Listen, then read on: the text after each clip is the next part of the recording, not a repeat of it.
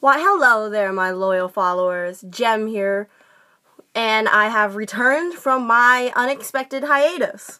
So, I haven't been posting any videos up for the last three months. I've been a bit busy lately with um, senior year that came up. I'm currently living out my senior year right now, and I just have not been reading any novels as of late.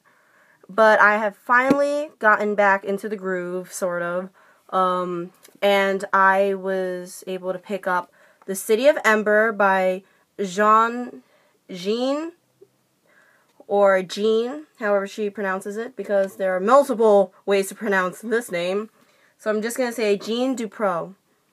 And so um, I was able to read this for book club. I finished it earlier on today. Book club was today after school, and I was able to finish this early in the morning, like second period. So, still fresh in my mind. Um, so I will try to um, read more books, post more uh, videos up for you guys.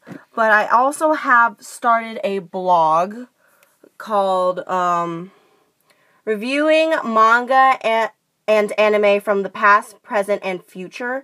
This is where I review all of my anime and manga and all this.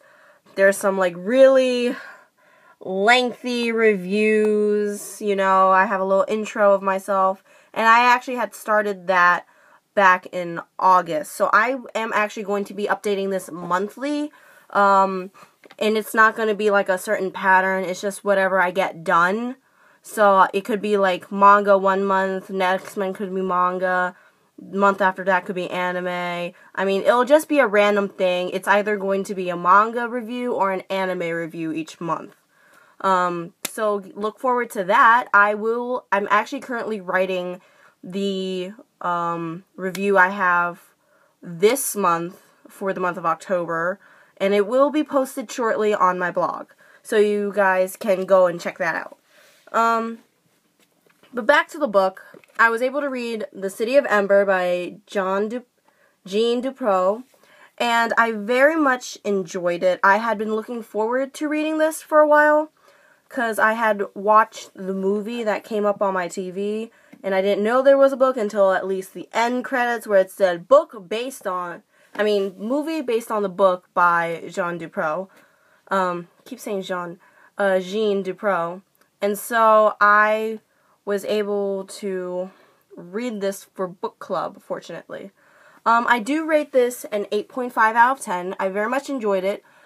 And, um, if anybody, if any of you have read the book or watched the movie, or if you've done both, leave a comment down below telling me your thoughts. And if you've actually seen or read, seen and read both the movie and the book, give me like your thoughts of how the movie was because a lot of people from the re- the reviews I've seen and read, um, a lot of people didn't like the movie um, they read the book first and didn't like the movie. I honestly thought that the movie was somewhat accurate with the book. Like, it's more accurate than most of the movies that I've watched. City Bones. Um, but, uh, so I thought the City of Ember movie was pretty accurate with how the book was. There were some minor, like, um, minor changes to the movie that weren't really in the book, but I thought it was okay overall. Um, again, I rate this an 8.5 out of 10. I'll give you the synopsis and then my own thing.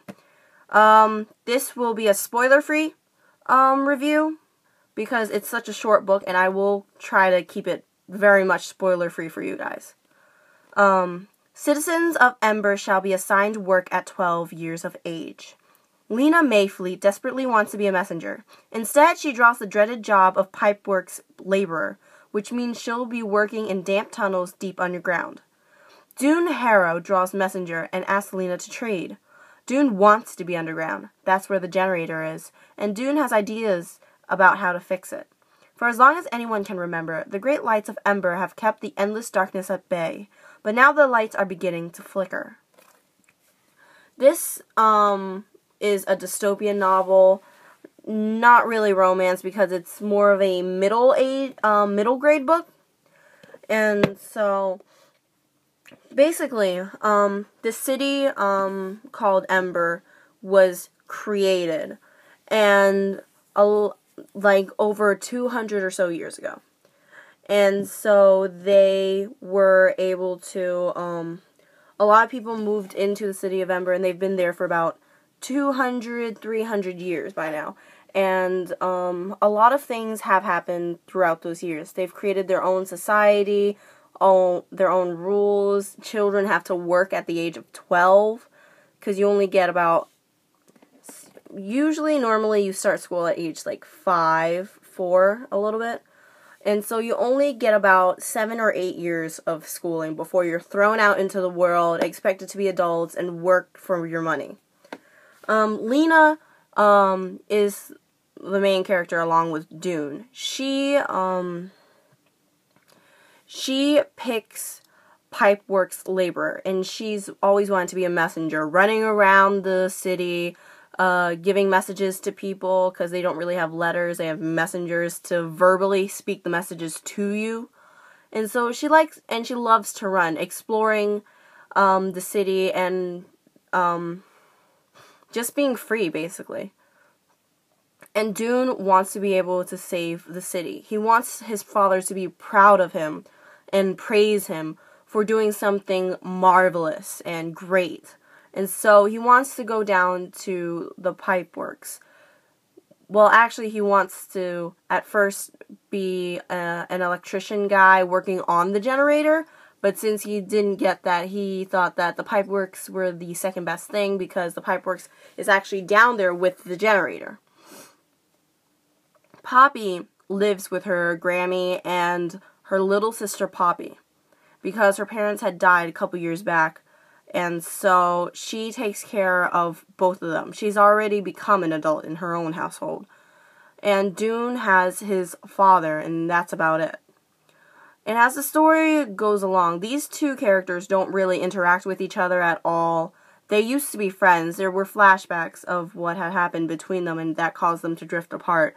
But they used to be friends, and now they're not really friends anymore, so they don't really interact.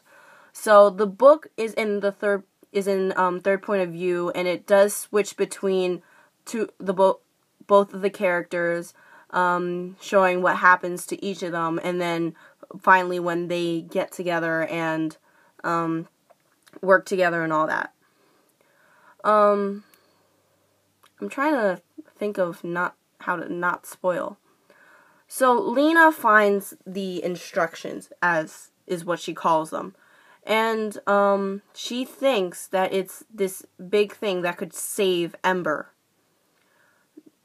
She had shown the document to a couple of people, um, namely her captain, the one in charge of the messengers.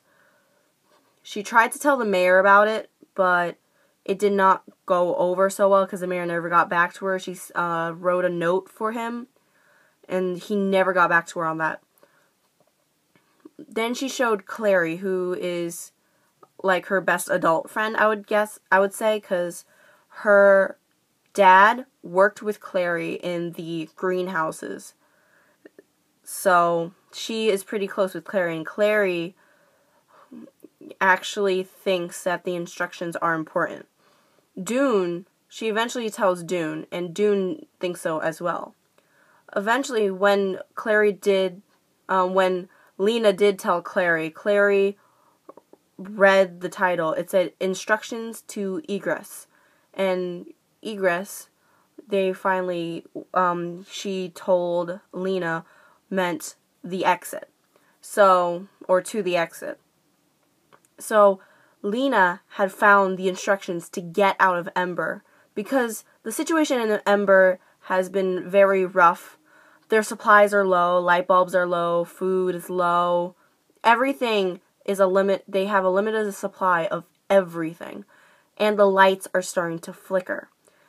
And once those lights completely black out, it's pitch darkness. There's nothing. There's absolutely no light at all. And so it becomes a it's a really difficult time for all the citizens of Ember. And as the story does move on, there is like um what's the word? An antagonist in a sense. There is an antagonist that tries to go against Lina and Doon. But in the end, they do um everything is for the better. I'm going to say I'm not going to tell what happens in the end, but everything does get better for Lina and Doon. But I won't tell you just yet. How the end is in the book, how it ends, it is a very nice ending. And so I um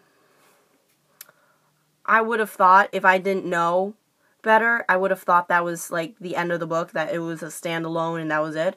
But there are like three other books there. I actually own the second one right here, The People of Sparks. And so I read the cover page thing that's like when you open up the book, there's like a little excerpt here. I did read that and it turned me off a little bit. So I don't know if I will be getting to it anytime soon. I will get to I'll get to reading it eventually, but I don't really think I'm going to be getting to it anytime soon. So those are my thoughts on the City of Ember. It was very nicely written. I liked it. The descriptions of the things that we there are descriptions of things that we know that we can imagine instantly if you say the name of it, like a book or a um or a TV. But how it was like stuff like um how they've never seen before, but we take for granted every day. They it, how it's described is kind of confusing. I wasn't able to really imagine it, so that's the only thing I would really have a problem with. Otherwise, it was overall a very good story, and I very much enjoyed it. Um, 8.5 out of 10. Um, and I don't really know. Well, I sort of do know. The next book we're actually reading for my school's book club is The Sin Eater's Daughter because I recommended it and I really wanted to read it. I don't know if that is a, um, if that is a series because all I saw was the one book. But if there is a sequel coming out, or if you have any information on that, please uh, comment down below about it. And I that will be the next review that I will put up.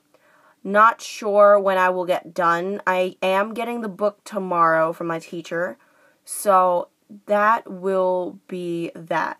I will try to get the review out as soon as possible. I do still have author promo books, well, author promo reviews that I have to do. There are 10 books that, t- my bad. Um, I've been like stuck on words lately.